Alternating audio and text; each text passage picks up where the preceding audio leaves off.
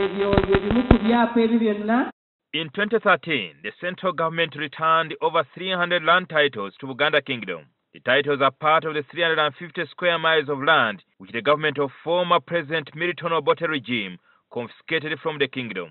Officials from Buganda Kingdom led by Land Minister Engineer Martin Kasekende appeared before the Commission of Inquiry. They revealed that the Ministry of Lands and Uganda Lands Commission are reluctant to transfer the titles despite the President's directive. These titles were returned. Uh, many of them were still in the old names, the Sabagabo, Mitube, video of where. So some of them are, we have taken them to the Ministry of Lands for vesting them to the Kabaka of Uganda, and some of them have not yet been returned. Then there are also those still where ULC is still involved. The managing director of the Buganda Land Board, Chiwara Yamare, said out of the 300 land titles which were returned to Buganda, only eight have been transferred so far. We have so far only changed, I think, eight titles out of the 300 which were returned in 2013. So we still have that kind of challenge. The Mengo officials told the commission that some of the titles returned to Uganda had been given away as freehold titles. Actually, uh, some of them are freehold. Some of them are freehold. Uh, freehold, which were returned to the Kabaka in 2013. The, the, the, I think the problem is, uh, is, is in the Ministry of Lands because I've seen a directive from the President saying that these titles were returned and they should be vested and the process is not moving on. There has also been situations where we have inherited leases from former bodies like Uganda Land Commission, the District Land Boards.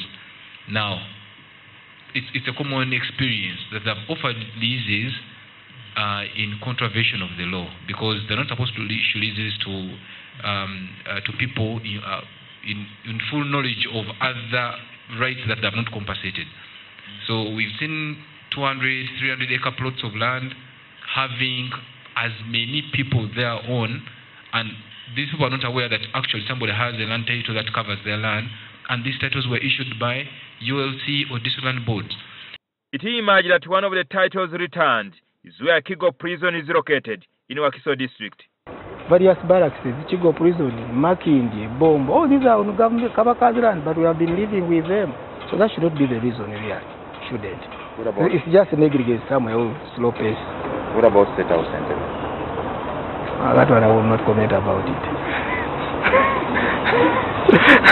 The Mengo government is also concerned about the government's arrangements to amend the constitution to allow compulsory acquisition of land for investment and infrastructure development. It brings a lot of a, a lot of resistance, and uh, it may be when you talk about a, a big landlord that's that's such as Kabaka, uh, maybe there he can wait for for all those years.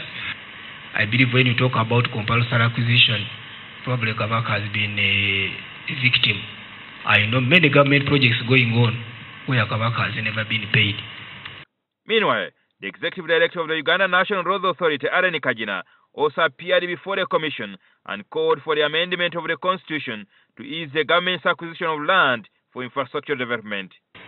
The law regulating land should be amended to empower government to take over land for public projects.